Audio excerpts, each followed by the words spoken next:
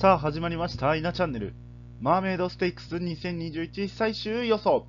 いきなり軸馬の方を公開していきたいと思います。牝馬の時代に注目馬が現れました。ということでですね、えー、ぜひ最後までご覧ください。軸馬候補3頭挙げさせていただきます。秋華賞3着馬のソフトフルート。そしてですね実績ナンバーワンラステ。最後にですね、秘めた才能を発揮できるか、伊豆城の奇跡ということでですね、えー、この3頭から軸馬はどれにするんでしょうか。ということでですね、早速、軸馬の公開に移っていきたいと思います。ハンデ戦ということを加味しましょう。軽量馬、ハンデのですね、軽量馬、軽筋量馬が活躍しそうということでですね、非常に美味しい伊豆城の奇跡をですね、狙っていきたいなというふうに思っております。ということでですね、えー、今回本命は伊豆城の奇跡でいきたいと思います。こちらがマーメイドステークス2021の展開予想になります。走波時計は2分1秒2ぐらい。やや重からですね、重馬場になって前半が61秒4、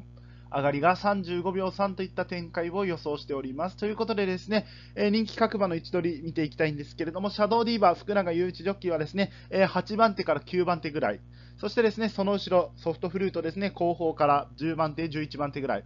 そしてですね、えその前にですね、伊豆城の奇跡、このようなですね、展開を予想しております。ということでですね、え人気馬、こういった位置取りになると思ってるんですけれども、やはりですね、開幕週ということもあってね、内枠、先行馬っていうところがですね、え両馬だったら有利だったというところはですね、間違いございません。ということでですね、え当日の馬場の乾き次第ではですね、この3頭がですね、非常に有利になることもあり得るというふうに私は感じているんですけれども、やはりですね、え前日の雨の影響でですね、内側がですね、若干悪くなった場合はですね、やはり中段からですね、えー、後方にかけての馬っていうところがですね、えー、チャンスになってくるんじゃないかなというふうに思っております。えー、特にですね、やはり客室がですね、え時代の伊豆城の奇跡、ここはですね、えかなり魅力的じゃないかなというふうに思っております。え中枠からですね、阪神内回りコースの 2000m でですね、え前をですね、見ながらですね、え52キロの金量を生かせる競馬をですね、ねえかなりしやすいポジションに取れるなというところでですね、えこの馬非常に注目しております。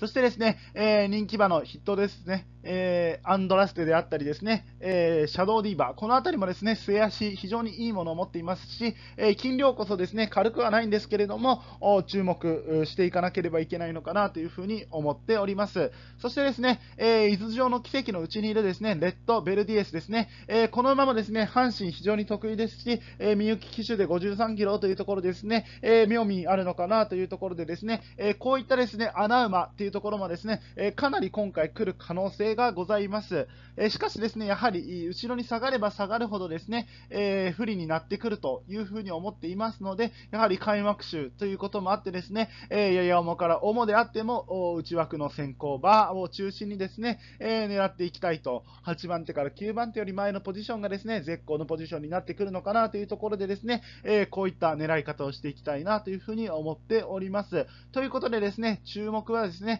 え、今から青でですね、え四角で囲うですね、えこのポジションの馬たちですね、えー、大体5番手からですね、9番手ぐらいの馬を狙っていくっていうところがですね、軸馬の選び方としては間違いないんじゃないかなというところですね、え客室にですね、え左右されないこの馬たちから行きたいなというふうに思っております。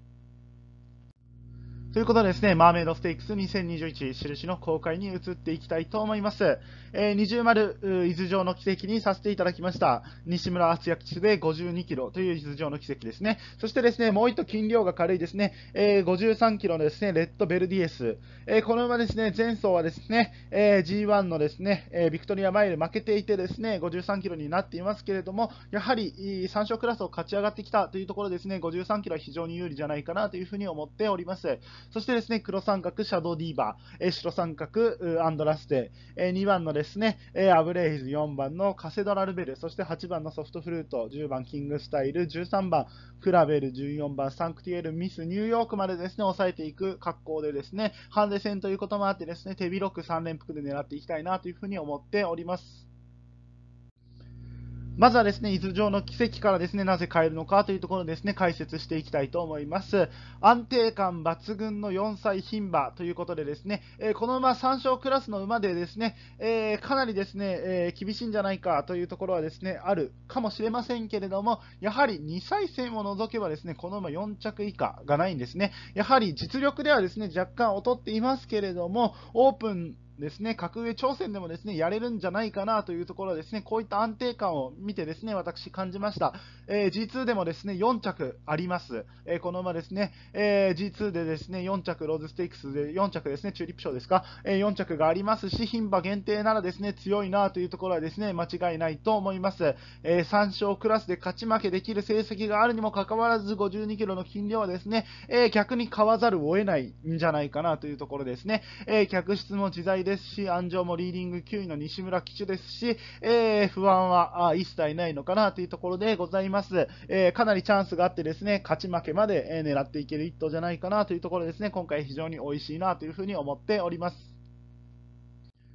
続いてはですね、レッドベルディエスですね。この馬について解説していきます。えー、両決馬ですね、東京サラブレッドのですね、えー、両決馬がここで登場してきます。コントレイルと同じ血統構成でですね、父、ディープインパクト、母父ブライドルズソングというですね、もう黄金配合が、えー、成立しております。えー、兄弟馬がですね、えー、やはり2歳戦でですね、重賞を勝っておりですね、え魅力十分の血統構成で、本当にこの馬がですね、重賞を勝つようだったらですね、この組み合わせっていうのはですね、本当に黄金配合だったというところがですね、えー、まさしく証明できる、そんなですね、一頭になっていると思います。安定感こそないんですけれど、実力はですね、ピカイチだと思っております。えー、このメンバーで53キロならですね、G1 の前走も生まれたところをですね、活かせればチャンスは十分あるかなというところでございます。